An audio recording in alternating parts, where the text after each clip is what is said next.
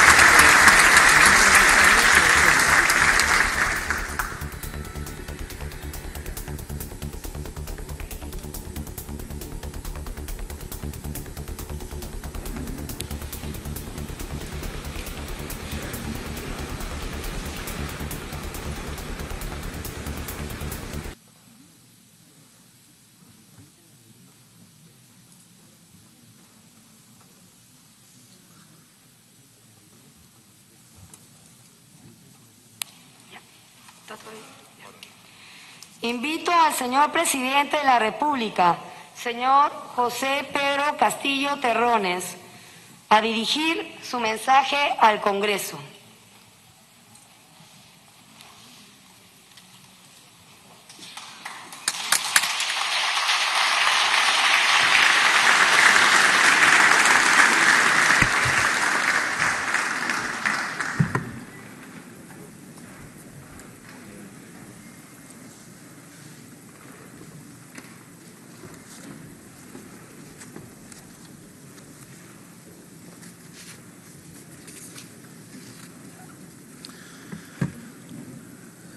Señora Presidenta del Congreso de la República, señores y señoras congresistas de la República, señores presidentes de las hermanas repúblicas de Argentina, Bolivia, Chile, Ecuador, Su Alteza, el Rey de España, señores vicepresidentes, señores cancilleres, señores miembros del honorable cuerpo diplomático, autoridades presentes, mujeres y hombres de mi amado pueblo peruano.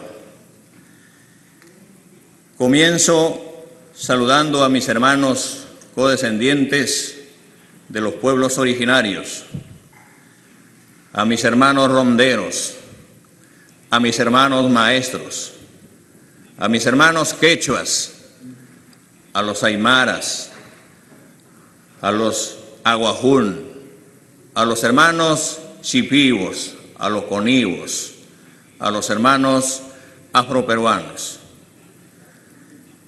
Me dirijo a ustedes este símbolo día en que se cumplen 200 años de la declaratoria de la independencia del Perú, dos siglos de vida republicana.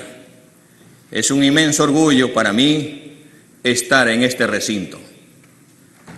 Pero a pesar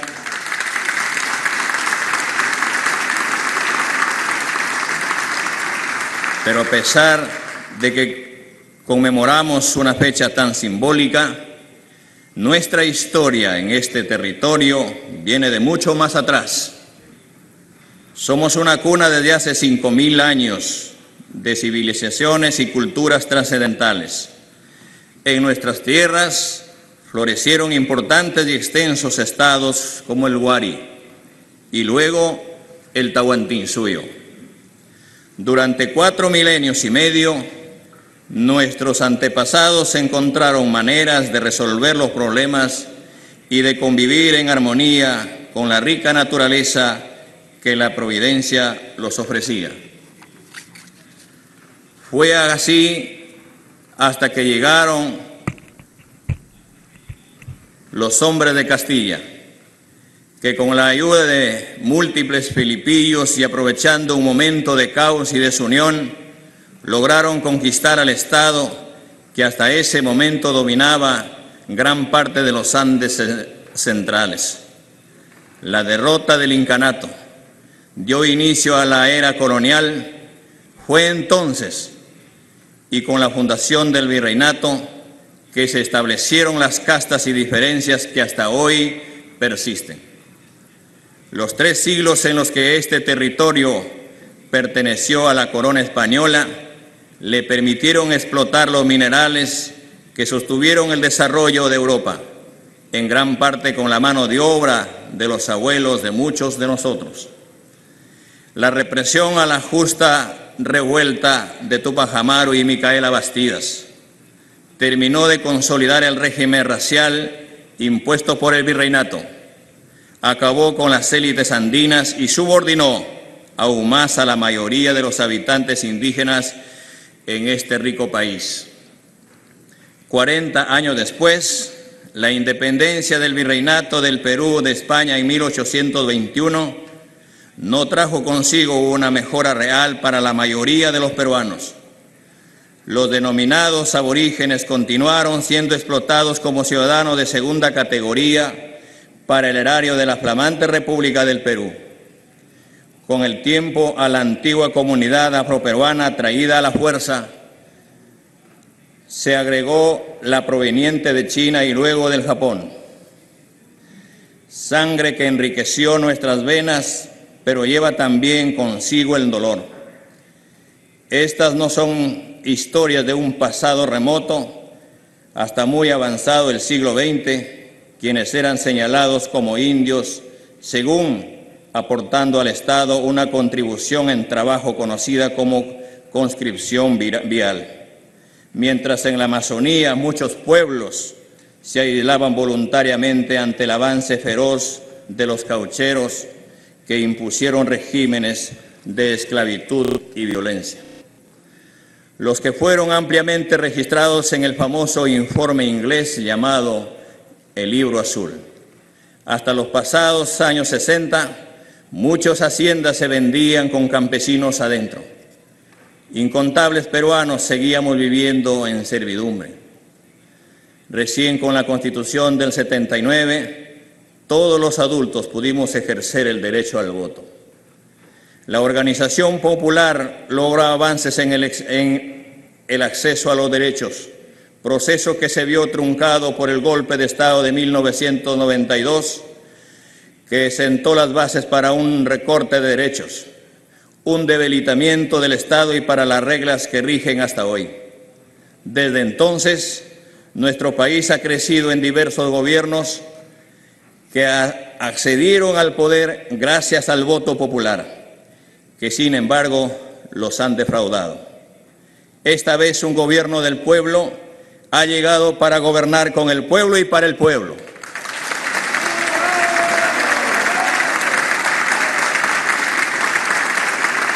Para construir desde abajo.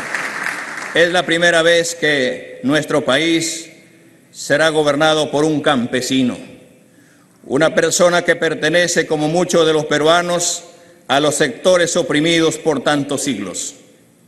También es la primera vez que un partido político formado en el interior del país gana las elecciones democráticamente.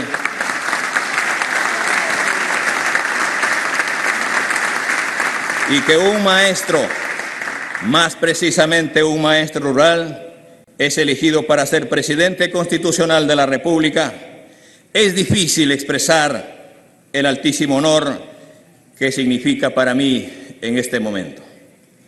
Quiero que sepan que el orgullo y el dolor del Perú profundo corre por mis venas, que yo también soy hijo de este país fundado sobre el sudor de mis, de mis antepasados, erguido sobre la falta de oportunidades de mis padres y que a pesar de, de eso, yo también lo vi, lo vi resistir, que mi vida se hizo en el frío de las madrugadas en el campo y que fueron también estas manos del campo las que cargaron y, me, y mecieron a mis hijos cuando eran pequeños. Que la historia de este Perú tanto tiempo silenciado es también mi historia. Que yo fui ese niño de Chota que estudió en la escuela rural 10465 de Puña, que hoy estoy aquí.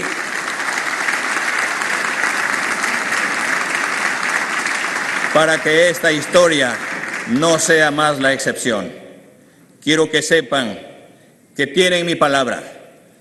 No las defraudaremos, no los defraudaré.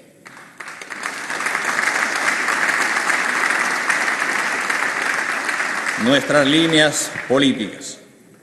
La lucha contra la pandemia del COVID-19. preservar la salud y la vida. Nuestra primera gran tarea es continuar la lucha contra la pandemia del COVID-19 que tanto ha golpeado a nuestro país. En esta fecha no quiero dejar de recordar a tantos y a todos los peruanos y peruanas que ya no están con nosotros y a quienes hoy los extrañan y los extrañamos. Honraremos su memoria asegurando que esto sea una prioridad. Las mutaciones del virus aún sorprenden a los científicos del mundo. Esto no ha terminado, pero estoy absolutamente seguro que saldremos adelante, construyendo sobre lo avanzado, escuchando a la ciencia y poniendo el bienestar de los peruanos por delante. Nos toca gobernar en un momento de enorme gravedad para el Perú, pero debemos maximizar nuestro esfuerzo para alcanzar la vacunación de toda nuestra población en el menor tiempo posible.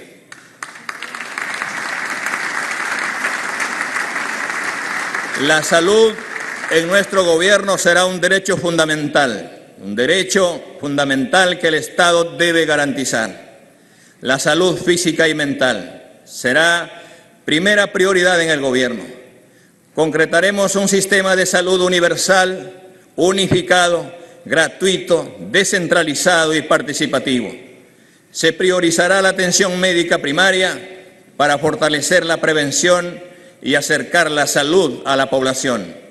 Mejoraremos la capacidad de atención de centros y postas de salud e impulsaremos la, la conformación de 5.000 equipos de atención comunitaria integral que tendrán un criterio territorial para que ninguna familia peruana quede sin cobertura médica. Debemos fortalecer la atención hospitalaria.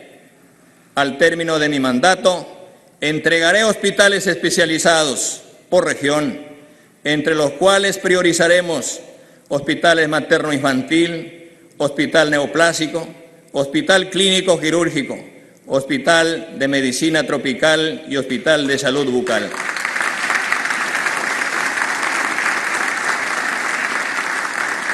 Para poder llevar la salud a todos los peruanos, tenemos que tra trabajar articuladamente entre todos los niveles del gobierno. cada uno desde su función. Por eso, invoco a los gobernadores regionales del país a elaborar sus expedientes y ubicar los terrenos donde se construirán estos hospitales.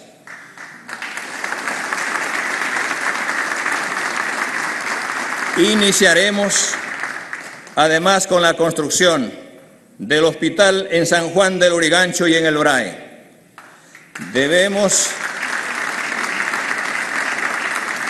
debemos terminar con el centralismo que provoca que millones de peruanos tengan que viajar a Lima por una consulta médica. Necesitamos además valorar el trabajo de los hombres y mujeres que han dedicado su vida a la salud. ¿Quién no se conmovió durante este último año con su esfuerzo y sacrificio? Cientos han fallecido durante la pandemia y a ellos también nos debemos. A quienes se desarrollaron en el campo de la salud, quiero que sepan que tienen en este gobierno a un aliado. No más trabajos precarios. El país necesita mantener el compromiso y aporte de los trabajadores y los colegios profesionales de salud desarrollaremos las capacidades en el país y que el país necesita y descentralizaremos los recursos humanos del sector y a todos los peruanos y peruanas les digo que su salud y bienestar es nuestra prioridad.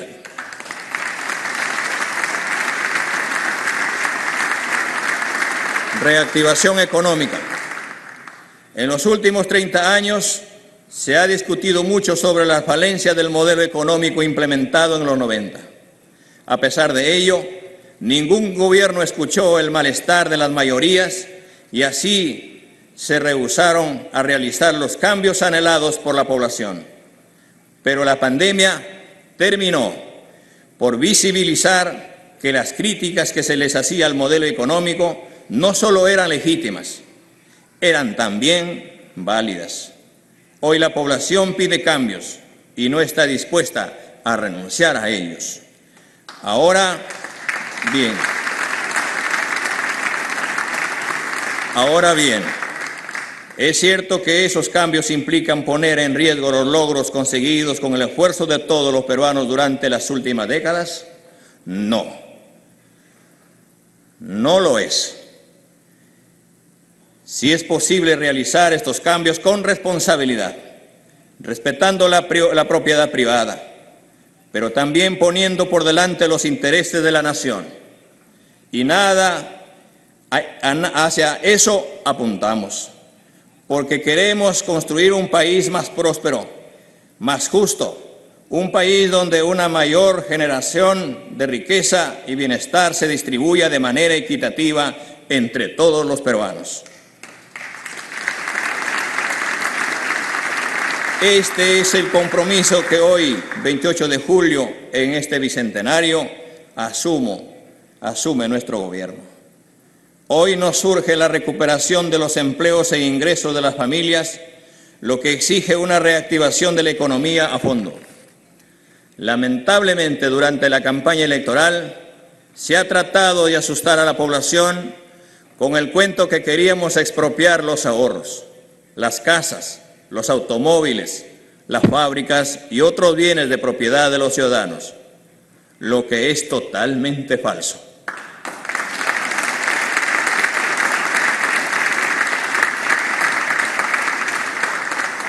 No haremos nada de eso porque queremos que la, economía mantenga orden y predictibilidad, que es la base de, las decisiones de inversión. La propiedad de las personas obtenidas con esfuerzo y en el marco de la legalidad está garantizada por el Estado. Lo que nosotros proponemos es que se acaben los abusos de los monopolios, de los consorcios que corrompen y cobran sumas artificialmente elevadas por los bienes y servicios básicos, como ha sucedido con el gas doméstico y las medicinas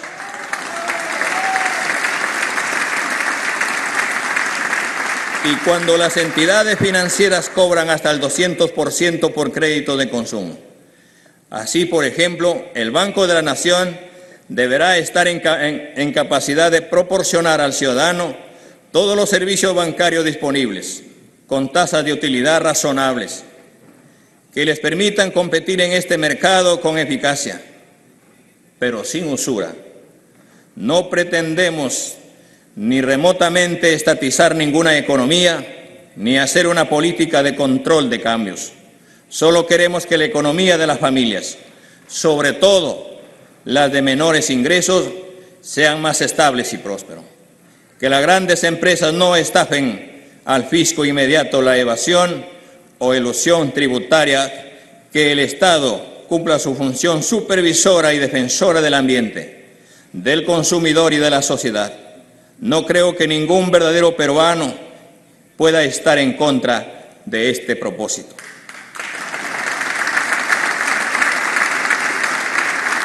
El caso Lavajato es un baldón que nos perseguirá por mucho tiempo.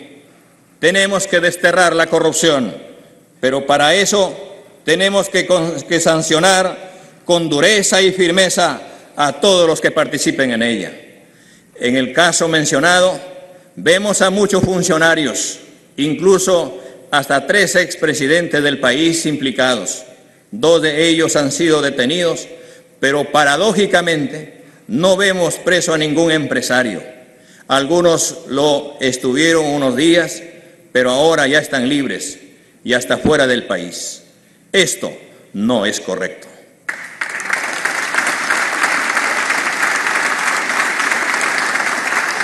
La promoción de la inversión y una nueva forma de hacer proyectos en el Perú.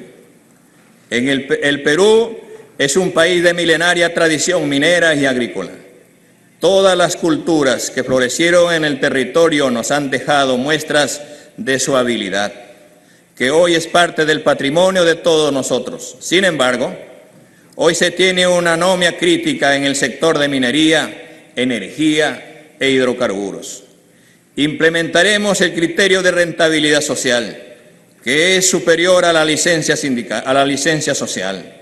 Esto significa que todo proyecto debe contribuir, entre otros, con dinamizar la economía local, regional y nacional incrementar realmente el ingreso nacional, propiciando el ingreso neto de capitales y que los beneficios se contabilicen localmente, donde la recaudación de impuestos o regalías sea positiva y relevante. Mejorar el nivel de empleo y salarios, condiciones y salarios de acuerdo a lo que señala la Organización Internacional del Trabajo. Realizar transferencias tecnológicas la inversión foránea, extranjera o extrarregional es un medio para difundir tecnología en, las áreas receptoras. Mejorar la distribución del ingreso donde la intervención no genere grupos privilegiados y otros excluidos. Promover y preservar la cultura y el medio ambiente. Toda intervención debe cuantificar certeramente el cierre de minas y otorgar garantías reales sobre cualquier pasivo ambiental. Los actores deben acondicionarse a cada escenario y no al revés.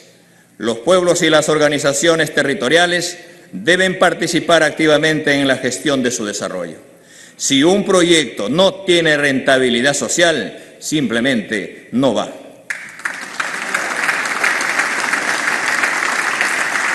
Esto significa un nuevo pacto con los inversores privados, donde el Estado intervenga para reducir costos, facilitar procesos, mantener la seguridad jurídica y a cambio la población local y el país reciban contribuciones que generen desarrollo y mayores oportunidades con un real cuidado del medio ambiente.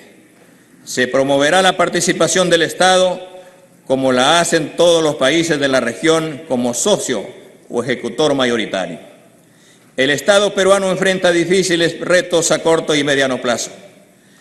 Necesita una nueva forma de hacer minería en su rol, en su territorio, en, un escenario de paz con justicia social donde cada pueblo sea protagonista de su destino. Principales acciones a desarrollar. En mi gestión desarrollaremos lo siguiente. En salud, frente a una tercera ola de contagios, tenemos a la fecha 16% de la población vacunada con, dos dosis y un primer nivel de atención muy débil, muy débil. Esto significa el enorme desafío de llegar a fin de año al más del 70% de la población vacunada y lograr la protección comunitaria. Vamos a comprometer todo el aparato del Estado y con nuestro pueblo movilizado en tal sentido, convocaremos de inmediato a todos los gobernadores regionales y a, los, y a sus directores regionales a evaluar acciones ante la pandemia. Los centros y postas de salud garantizarán la atención médica, laboratorio y exámenes con real gratuidad sean y no asegurados. Se dispondrán las medidas para ampliar los horarios de atención para pacientes no COVID hasta 12 horas en los establecimientos del Ministerio de Salud y la Seguridad Social. Se tomarán las medidas necesarias para continuar con la vacunación, ampliando horarios y extendiendo su presencia en las zonas más, más populosas de las capitales. Los establecimientos de primer nivel vacunarán en horario extendido.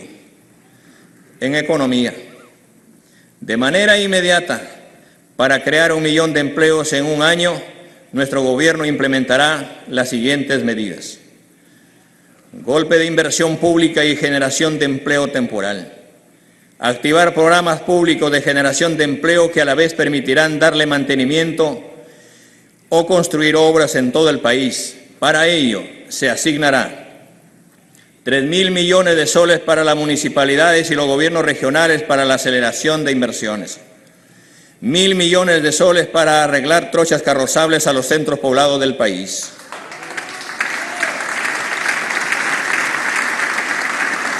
...700 millones de soles para el programa Trabaja Perú...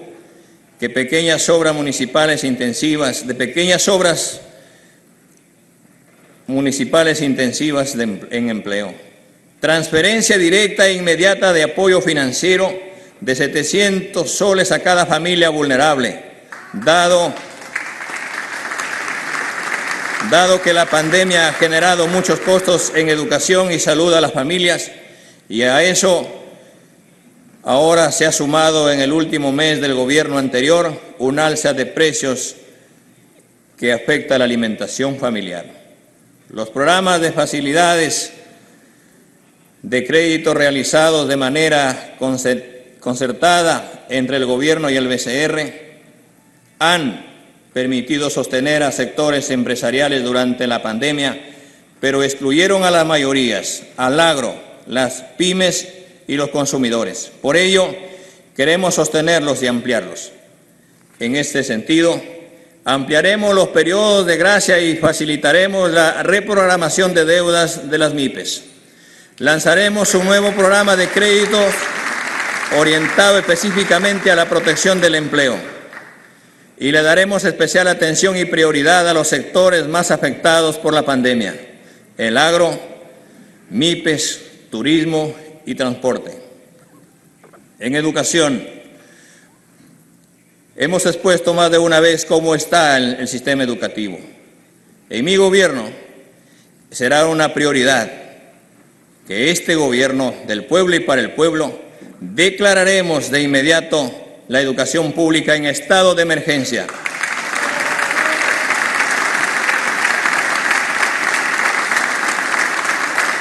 para recuperar los aprendizajes y evitar que la falta de equidad siga creciendo. Esto nos lleva a plantear un conjunto de medidas que paso a detallar. Un presupuesto suficiente para la educación pública básica y superior que se mejorará progresivamente. Nos prometemos aumentar el, nos proponemos aumentar el presupuesto del sector educación para dar respuesta a las grandes necesidades educativas de los sectores vulnerables, rurales, bilingües, periferias marginales y urbanos. Nos proponemos duplicar la asignación presupuestal para la educación pública en los primeros años de nuestro gobierno y aumentar la participación del gasto en el PBI. Mejoraremos la distribución de los recursos educativos con criterio de equidad y priorizando acciones que ayuden a superar las brechas sociales profundizadas por la pandemia. Se fortalecerá la atención educativa de la primera infancia, retornando el programa Cuna Más. A más tardar en el primer semestre del año 2022, nuestras escuelas volverán a la actividad presencial. Para ello garantizaremos la vacunación de todos los maestros, promotores, auxiliares y personal de los servicios educativos, la adopción de medidas de bioseguridad en todas las instituciones y programas educativos.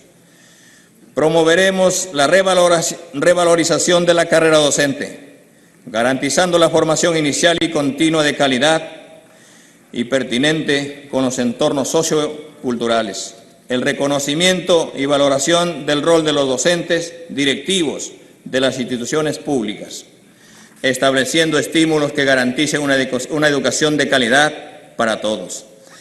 Consideramos de vital importancia que el sistema educativo cuente con una base firme de profesores estables. Promoveremos en las zonas rurales vivienda y centros de recursos pedagógicos para los docentes. Es tiempo que esta vieja aspiración se concrete y los profesores rurales, verdaderos apóstoles de la educación peruana, reciban un mínimo de servicio para poder realizar su tan esforzado como importante trabajo.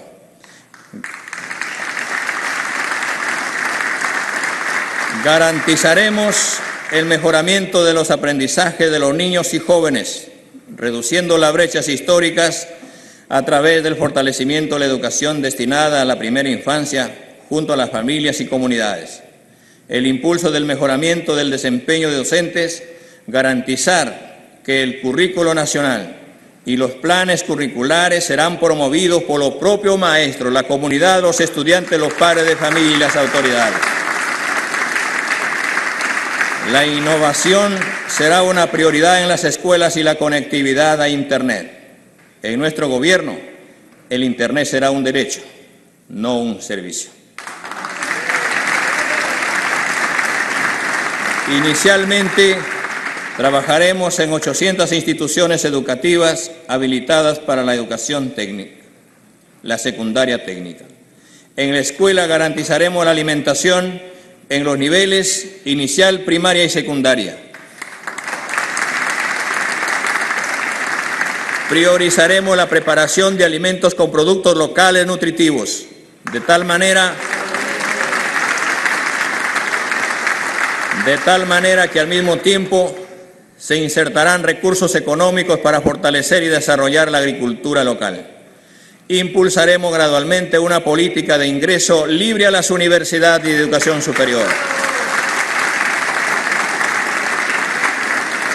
Este sistema funciona bien en otros países y consideramos que aquí pasará lo mismo. Se impulsará fuertemente las escuelas e institutos superiores de educación técnica y en las instituciones educativas de educación básica. También la formación técnica en los estudiantes en los últimos tres años de la, educación secundaria. Destinaremos mil millones de soles para pagar la deuda social del magisterio peruano.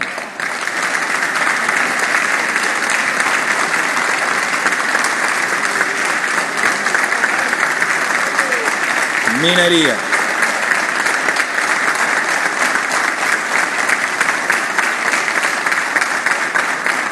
Minería.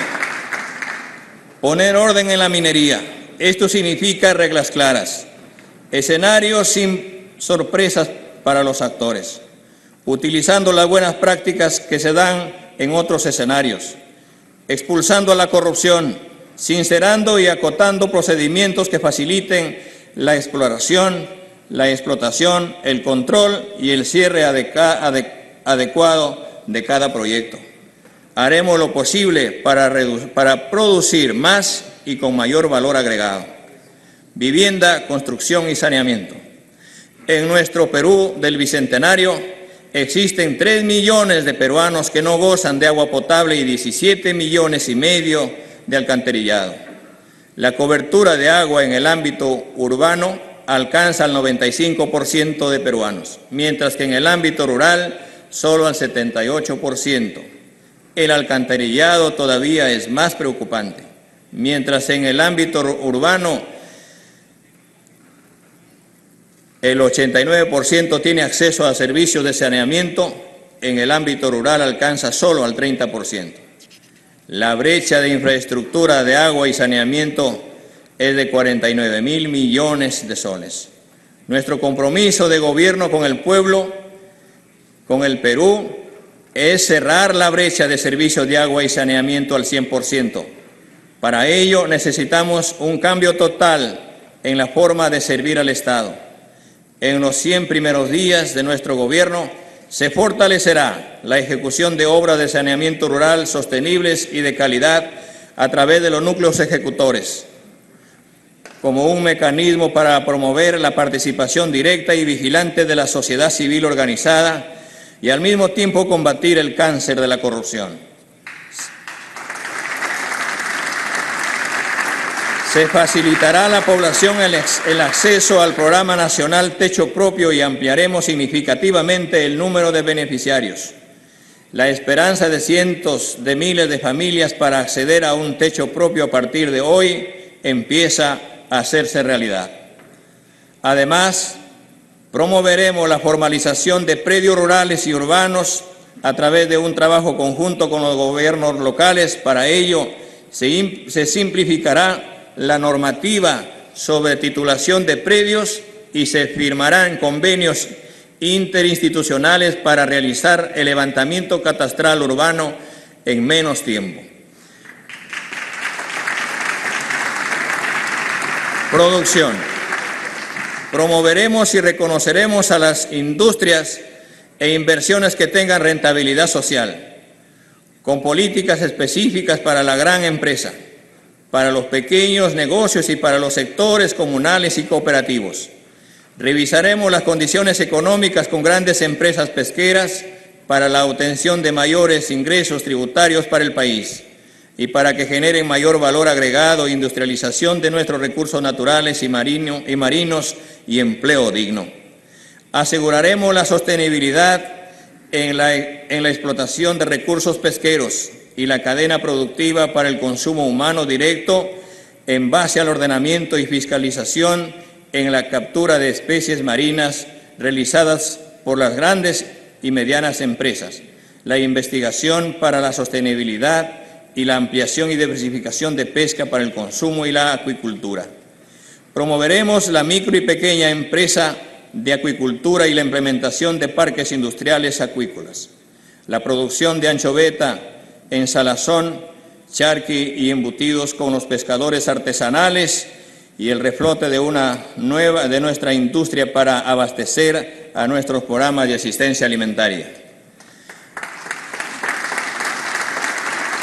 Para las pymes implementaremos fondos de crédito con tasas preferenciales a través de las cajas rurales y cajas municipales y banca privada y el Banco de la Nación con topes diferenciados según el requerimiento de cada rubro y sector.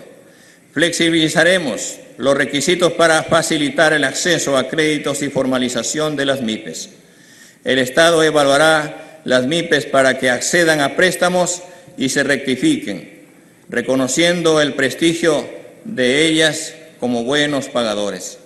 Se desarrollarán alianzas estratégicas para el desarrollo tecnológico y productivo entre la universidad y la educación técnica en todos los niveles. Agricultura y desarrollo rural. Hambre y desnutrición cero. Con salud y reactivación económica, promoviendo el consumo de productos sanos ecológicos. Para ello impulsaremos los programas de compras estatales con productos locales nutritivos y de calidad, para combatir eh, en una manera inmediata el hambre en las zonas rurales y urbanas. Las organizaciones sociales de ollas comunes y comedores populares serán reconocidas e integradas a este ambicioso programa nacional.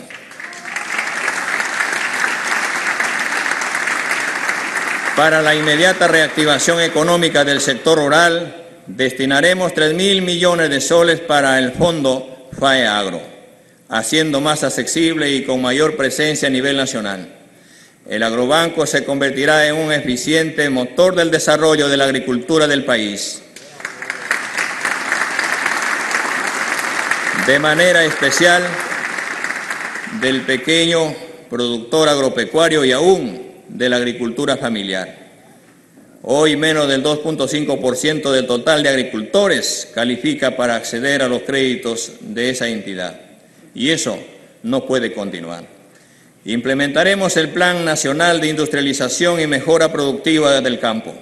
Con la participación de los gobiernos regionales y los gobiernos locales, direccionaremos fondos públicos para darles equipos y tecnología de punta a los agricultores organizados. La inmediata puesta en marcha del Plan Nacional de Repoblamiento Ganadero, que, volverá, que devolverá productividad a más de un millón, a más de 1.7 millones de familias ganaderas en la costa, en la sierra y en la selva. El mejor modo de combatir la anemia será permitiendo que nuestros hijos coman proteínas de gran calidad y ricas en hierro. Priorizar los proyectos de irrigación Asimismo, proyecto de siembra y cosecha de agua para integrarnos a los mercados internacionales. Aprovecharemos nuestra biodiversidad para el desarrollo productivo agrario e industrial.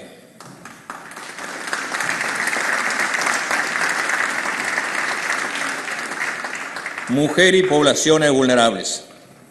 Programa Nacional Mujer Emprendedora que otorgue créditos accesibles para dinamizar la economía familiar, para enfrentar las consecuencias económicas de la pandemia que ha ubicado a las mujeres en, en empleo informales, vulnerables y sin protección social. Impulsar el, el, Sistema Nacional de Cuidado de Personas Dependientes, niñas, niños, personas adultas mayores, personas con discapacidad, dado que 98 mil niños peruanos han perdido a uno de sus, de uno de sus cuidadores como víctima de la pandemia. En adelante, por los niños y niñas del Perú, el Estado asumirá el financiamiento de la rehabilitación integral de las víctimas de violencia sexual. Fortaleceremos el Sistema Nacional Especializado de Justicia para la Protección y Sanción de la violencia contra las mujeres e integrantes del grupo familiar. Solo de forma articulada y coordinada se logrará la protección y acceso real a la justicia para las víctimas. Ministerio de Ciencia y Tecnología y la carrera del investigador científico. Por nuestro bajo nivel en ciencia, tecnología e innovación, las exportaciones correspondientes al año 2019 estuvieron compuestas por 79% de productos sin valor agregado. Este porcentaje subió al 81% el año 2020. Por la globalización y el calentamiento global, se prevé que esta realidad se agravará. Para hacer frente a estos desafíos, mi gobierno promoverá la creación del Ministerio de Ciencia, Tecnología e Innovación Tecnológica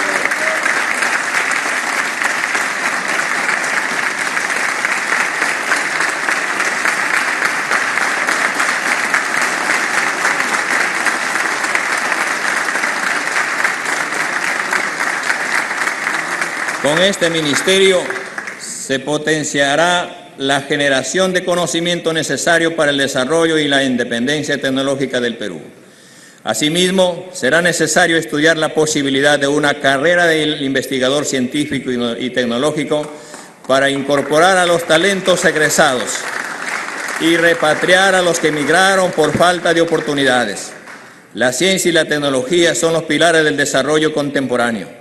Un país que no es capaz de reconocer e incorporar sus conocimientos ancestrales y generar nuevos. A partir de la investigación y disponer y promover un universo de profesionales destacados en este campo, nunca podrá alcanzar los niveles de desarrollo requeridos para distribuir adecuadamente entre su población los servicios públicos elementales, como son la seguridad alimentaria, la vivienda adecuada, el transporte público eficiente y una educación y un sistema de salud pública pertinente y de calidad.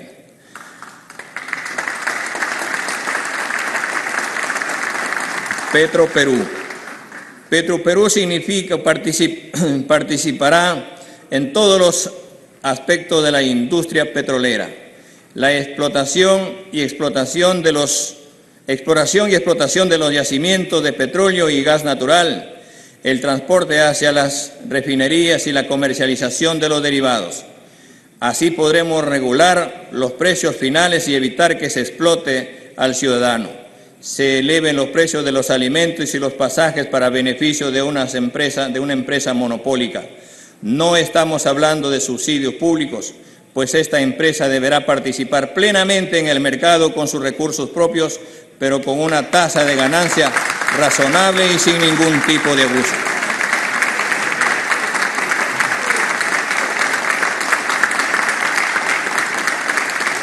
Estamos dispuestos a recuperar la soberanía sobre todos nuestros recursos naturales porque muchos hoy en día están en manos extranjeras, con contratos que tienen garantía de estabilidad tributaria. Esa es una de las razones principales que nos obligan a buscar una nueva constitución política que, entre otras cosas, permita adecuar los contratos a, las, las cambiantes circunstancias del mercado internacional, garantizando los ingresos del Estado. Las rondas y la seguridad ciudadana. Sabemos que la seguridad ciudadana es uno de los problemas más sentidos por la población. La Policía Nacional es el pilar sobre el cual la actividad pública lucha contra este mal. Pero eso no es suficiente. A pesar de los esfuerzos que se realizan en este campo, siguen campeando las pandillas, las bandas y los robos callejeros. Las agresiones a la integridad física de las personas y a sus vidas, nosotros creemos que debemos expandir el sistema de las rondas en el Perú, que no es otra cosa que la población organizada para dar seguridad a toda la población. A imagen de las rondas campesinas, nos proponemos convocar a toda la población a conformarlas donde no existen. Estas e incluirlas en el Sistema Nacional de Seguridad Ciudadana en los niveles regionales y locales correspondientes.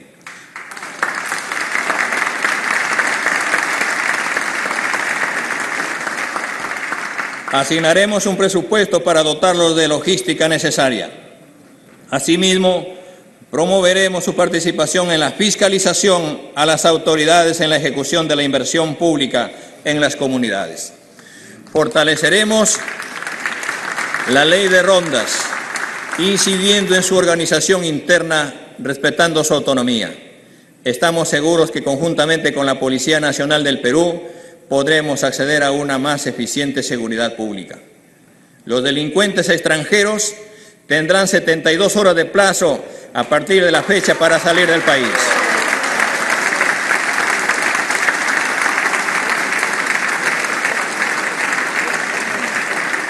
Finalmente, los jóvenes que no estudian ni trabajan deberán acudir al servicio militar. Defensa un nuevo rol para las Fuerzas Armadas. Ciertamente, nuestras Fuerzas Armadas tienen, como se establece el artículo 165 de la Constitución, la finalidad primordial de garantizar la independencia, la soberanía y la integridad territorial de la República. Sin embargo, en tiempos de, en tiempo de paz, nada impide que los equipos, el personal técnico y en general todo el personal disponible pueda participar en la ejecución de proyectos de desarrollo como caminos, obras de ingeniería, represas.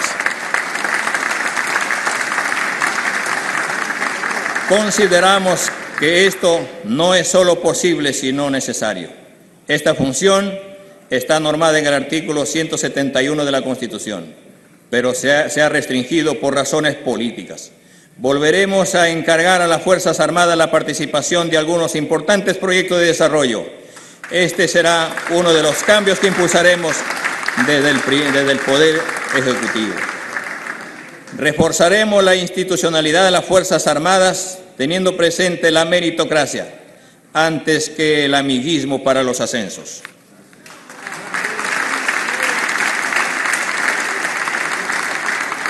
Promoveremos el ingreso al servicio militar voluntario con la creación del programa Ingresa a servir a tu patria y asegura tu preparación para el futuro. Fortaleceremos el equipo de las Fuerzas Armadas para que puedan cumplir con eficiencia su misión encargada. Cultura. Introduciremos un enfoque intercultural a través de un plan para transformar lingüísticamente al Estado peruano, con el objetivo de que todas las instituciones públicas en donde predominen las lenguas originarias se comuniquen oficialmente en dichas lenguas. Para ello se debe determinar plazos máximos y oportunidades de aprendizaje para que todos los servidores y funcionarios puedan acreditar su manejo del idioma originario respectivo y el ejercicio de sus funciones. Reconocimiento de las comunidades indígenas para que puedan ser consideradas en los alcances del convenio 169 de la OIT. Dotaremos de un mayor presupuesto a las diversas direcciones para fomentar el rescate y la promoción de, las industrias culturales. Dinamizaremos la industria editorial. La gestión de las culturas será descentralizada. Uno de los desafíos pendientes que como República mantenemos es que el reconocimiento de la diversidad cultural de la, forma, de la formulación de las políticas públicas, lo que ha significado que peruanos y peruanas de sectores rurales continúen siendo invisibilizados como lo eran hace 200 años. Es por ello que resulta necesario interculturalizar al Estado, es decir, establecer que cuando se toman decisiones más relevantes, se consideran las voces de los pueblos y comunidades originarias y del pueblo afroperuano. En este sentido, se requiere una reestructuración del Ministerio de Cultura, empezando por el nombre, que atendiendo a la realidad deberá ser renombrado como el Ministerio de las Culturas. Un país En un país diverso como el nuestro se necesita un ministerio que reconozca las lenguas, las diversas culturas, lenguas vigentes y ejecute políticas donde los propios pueblos originarios participen en su elaboración y ejecución. Lucha contra la corrupción. Revisaremos toda la legislación sobre la corrupción, la tipificación de los delitos vinculados a ella, y las sanciones impuestas en el Código Penal para reforzarlas, tanto en lo referente a los funcionarios públicos como a las empresas y empresarios nacionales y extranjeros implicados. Debemos contar con una legislación que desaliente la criminalidad de todo tipo y no como la actual que la alienta. La Contraloría ha señalado que la corrupción desfalca más de 20 mil millones de soles al año, es decir, tanto como todo el gasto público en salud del año 2021 y dos terceras partes del gasto público del sector educación en este año. Tendremos que potenciar la Contraloría General de la República, a, la, a la Fiscalía de la Nación y a todo el sistema judicial anticorrupción para que podamos reducir la corrupción con energía. Regulación de la publicidad estatal. La publicidad del Estado, mediante la cual algunos gobiernos han realizado presión indebida a los medios de comunicación para lograr beneficios políticos, paralizar las críticas e incluso orientar la línea editorial de algunos, debe ser regulada de, de, mejor manera. En este sentido, En este sentido, estableceremos que este gasto se realizará dando prioridad a los medios de provincias y redes virtuales.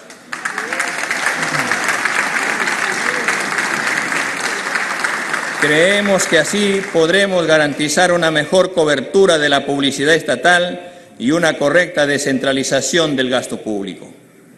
Transportes y comunicaciones fomento de la construcción y mejoramiento de caminos rurales como